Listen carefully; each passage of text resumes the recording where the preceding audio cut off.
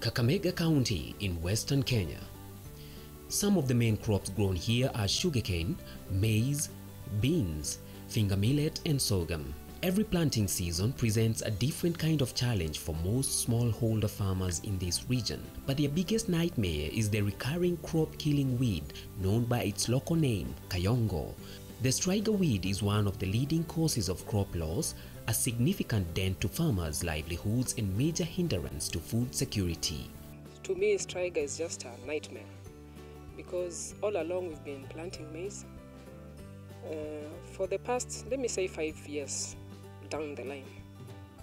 Okay, you've not you've not been producing what we expected because when you go to the farm, what you expect is to get something that at least you can keep on the table for the children, and then at least you sell and get something for school fees, like upkeep.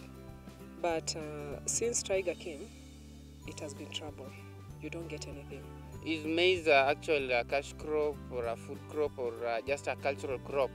Because uh, if I can spend uh, 20,000 to do maize farming and end up getting one bag, then what is the need of uh, uh, growing maize than doing any other thing?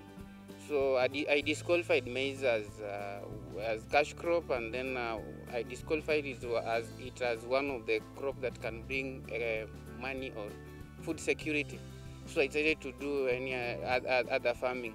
Striga is a destructive, invasive, parasitic weed that can cause up to 100% yield losses by attacking the roots of staple crops such as maize, sorghum, millet, cowpea, and upland rice, resulting in food insecurity and lack of an income. In Kenya, in western region alone, Striga has infested over 217,000 hectares of cropland, resulting in maize yield losses of up to 182,000 tons per year.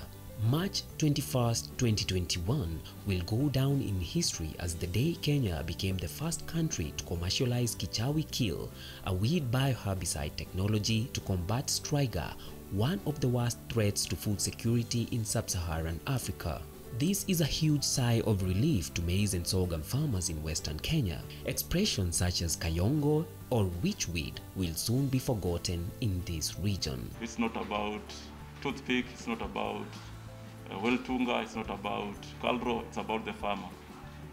That woman who works each and every morning, tilling her land in the hope that she'll have the harvest, she'll take her children to school, she'll get other uh, amenities of the farm, and that her social life or socio-economic life will be impacted. Although there are striga management technologies that exist, they have not been fully uh, or widely adopted by farmers due to mismatch between technologies, socio-economic conditions, effectiveness, and availability. However, farmers and consumers have two, uh, have two concerns.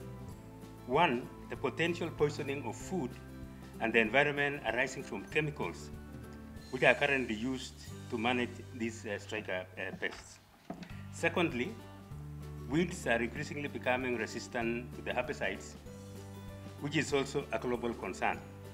This is because striga attacks the roots of the crop within 48 hours of planting, which means by the time weeding is done, whether by hand or using uh, chemical herbicides, it will be too late to reverse the damage. The research team developed a unique distribution system which involved growing the selected fungal strains on toothpicks. These were then transported to the village where the researchers worked with a team of farmers to make a fresh, live inoculum by cultivating the toothpicks in the cooked rice for several days. During planting, a cupful of inoculated rice was placed with a maize seed. The trials showed 42 to 56% increase in crop yield with a similar result showing in the regulatory trials. Paired plot trials took place on 500 farms between 2014 and 2015. So I have a dowel pin here, and this dowel pin is being coated with the fungus here. So now we got the dowel pin or toothpick with the fungus. So now is the fungus we are calling Fusarium oxysporum, forma specialis strigae. The fungus is from Kenya.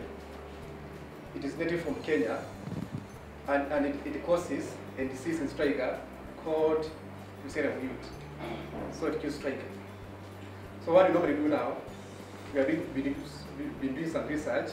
We caught the fungus on these two, dowel pins or toothpicks. So after coating, take some days, we prepare rice. This is rice. These are the dose of rice. The one we call the substrate. So you are using the fungus, you make the fungus on, the- on the rice substrate carrier. So you have rice and you have rice. Then you have the dog of pins. These are of pins.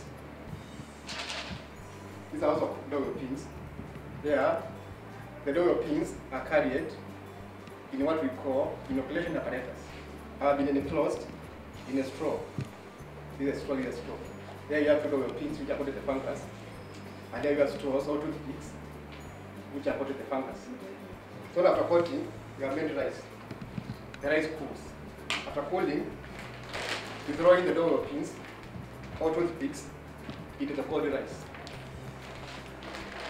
So what you have there is rice when the fungus was not applied, what we call a control.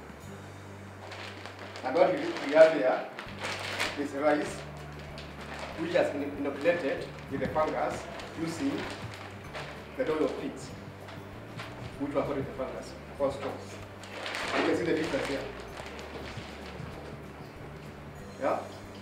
This one is what the color is pink. Okay? The control, no change. You see the difference? So that this means this rice has been colonized by the fungus and then it turned pink. Turning pink now means it is ready to use. To apply to the farms. uh, this product has really helped me because in the first time uh, I noticed the, those flowers. I went to the office of uh, agriculture and the extension officer came to my farm. He, he identified that weed and then they found toothpick kamban. They made an effort and came to my home they demonstrated on my farm. I called a few farmers to come and see. In the first place, I noticed uh, some improvement, but not uh, not 100%. I harvested uh, 40%. The first demonstration, I harvested 40%. The second demonstration, I harvest I harvested 65%. Then I was sure it was working. Because I was just uprooting the weeds, carrying the weeds like uh, carrying vegetables or firewood.